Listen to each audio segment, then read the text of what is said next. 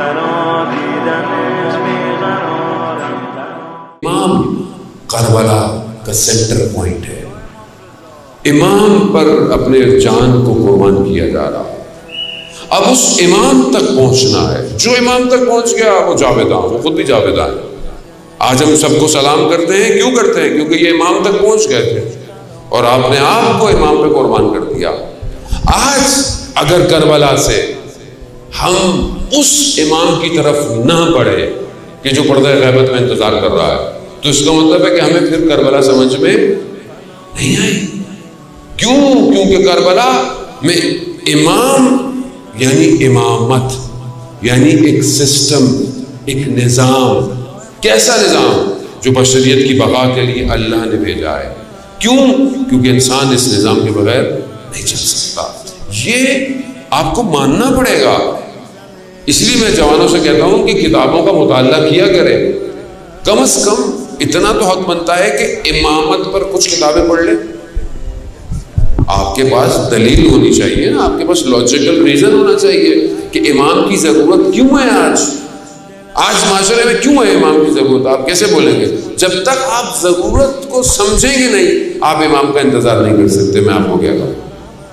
जब आपको पता चल जाएगा कि बगैर इस इमाम के सांस लेना मुश्किल है, उस दिन इमाम आएगा।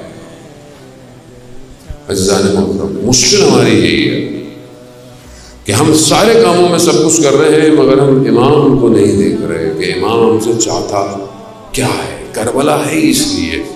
करबला का माशरा है इसलिए। लेकिन उसके लिए दायरा पहली शर्त मोहब्बत है। मोहब्बत है। हो सकता है किसी का अमल बहुत अच्छा ना हो, लेकिन मोहब्बत होनी चाहिए। छठे इमाम की खिदमत में इमाम जाफ़र सादिक साहब इमाम की खिदमत में शख्स आया का मौला फलाना शख्स आपका मानने वाला है, चाहने वाला है, लेकिन उसका अमल अच्छा नहीं है, फासिक है, झूठ बोलता है। इमाम ने कहा कि हमारा मानने वाला फासिक नहीं हो सकता। नहीं हो सकता। उसका वजूद पाक है। कितना करम है सरकार का, जो हम जैसे गुनाहगारों को कह रहे हो कि हमारे मानने वाले का वजूद पाक है फासिक नहीं है। हाँ उसका अमल हो सकता है खराब लेकिन उसका वजूद पाक है। अल्लाह अकबर। यही तो वजह है कि हम सारा साल पता नहीं क्या करते रहते हैं, फिर भी मुहर्रम आता है फरशादा पे आ जाते हैं।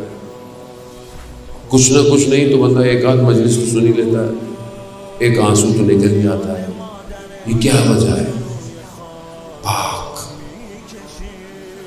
वो हमें बुलाते हैं आओ